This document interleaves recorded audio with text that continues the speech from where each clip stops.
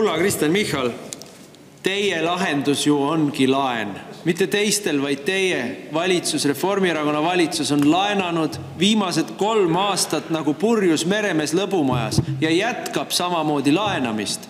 sellepärast, et kui me vaatame teie äh, RES-i prognoosi, mida siin avaldati, äh, siis äh, koos järgmise ringi maksutõusudega ja koos teie poolt palju räägitud kärbetega on 2026. aastal vaja laenata ikka kaks miljardit, et hoida riiki käimas. Teie olete ju nüüd hullunud laenajad.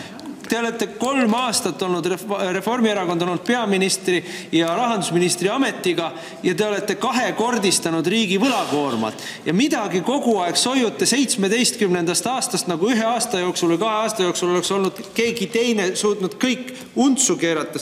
See teie võime sihukest kaksisoimu juttu ajada on lihtsalt hämmastav ma lihtsalt ei äh, kuulan ja mõtlen, et midagi teha ei ole vaja, on ära kannatada. ei, kallid sõbrad, ei ole vaja ära kannatada, on vaja tulla välja oma mullist, kus te nii-öelda panete majandust kasvama, majandust põhja ajades. ennem ütlesid meile siin, kuidas teie eesmärk on riigi asjad korda teha. no kulla inimesed, võtke ennast kokku tehke ometi reaalsuskontroll, iga päev, kui teie valitsete, lähevad ju riigi asjad rohkem korrast ära jumala eest tehke ruumi kellelegi, kes aru saab, teeb põlvel ja persel vahet lihtsalt on õudne vaadata, kuidas te valitsete. mul on kärpe kohta konkreetne küsimus, kui me siin tervet maailma katame.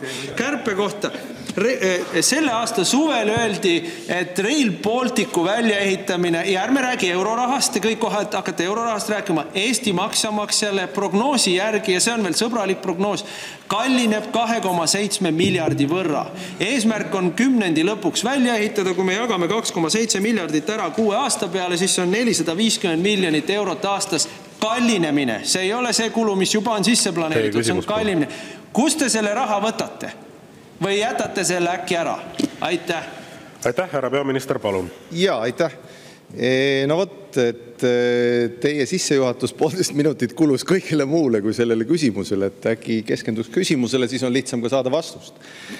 nüüd mina olen jah kriitiline, ma ei ole seda välja kuidagi varjanud, et seesama Palts-Reinsalu plaan, mille kokkuvõtmine nii-öelda võib kokku võtta ideena, et kiire, suur ja kallis laen on lahendus kellelegi muule kui sellele laenuandjale seda ei kinnita ükski rahandusinstitutsioon, et see lahendaks ühtegi struktuurset probleemi.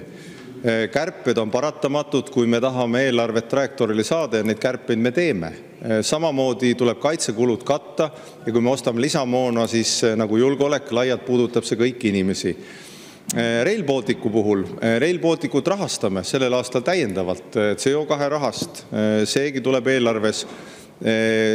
Rail Baltic tuleb valmis ehitada, sest ma siiski meenutan, et juba president Lennart Meri ajast on Eestil olnud strateegiline suund olla ühenduses Euroopaga, ühendused määravad kuuluvuse, mitte vaadata igatsevalt ida poole, kus üks teie pereliige on öelnud, et valitseb lausa eraldi tsivilisatsioon seda mina ei jaga. mina arvan, et meie kuuluvus on Euroopasse, meie julgeoleku kuuluvus on samamoodi Euroopa poole, nii et Rail Balticu me ehitame valmis ja loodetavasti teevad samad ka Läti ja Leedu ning saate teiegi sinna sõita. aitäh!